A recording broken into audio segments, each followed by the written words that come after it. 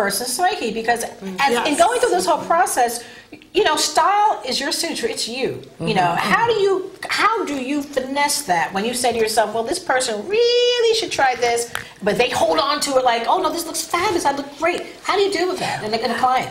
Well, I personally am very, am very mm-hmm. direct, but in a mm-hmm. subtle, nice, maybe Well, humorous you got way. that nice voice. She's got a good uh, voice, doesn't? Can I share, got a can I voice. share something Okay, that happened yes. with me?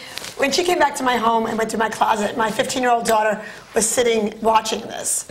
And I thought it was funny because I had a dress in there that I loved, that my daughter hated. And Aaliyah said, Please, mommy, try it on for her. Please try it on for her. Because she, she wanted, you wanted to talk throw her. She wanted her to talk her, you out of that She dress, said, right? you, people, Is it too tight? What- She said to me, it's a, it's a, it was a fuchsia sweater dress that. Oh, oh yeah, I so love great. it. It was Everything the the same thing, thing, right? It was a DKNY that I bought. I remember the look. I I, know I that look. like, But Yeah. Aaliyah said to me, That's always the trap. It's a It's the DK, label. it's a label. Yeah. That's always And the it's on trap. She said to me, Yes. "Mom, people, when you walk away," I said, "Aaliyah, people like me." I said, Your kids are like She that. said, "Mommy, people make fun of you when you walk away." I That's what my you." daughter says to me. Uh, so Michelle, I put it on with Michelle, and the minute I put Oh, it, no, no, no. Oh, I don't. you We didn't even put it on. I think Right. that's No. gotta go. Five bags- And then your daughter say you should listen to me. Aaliyah clapped.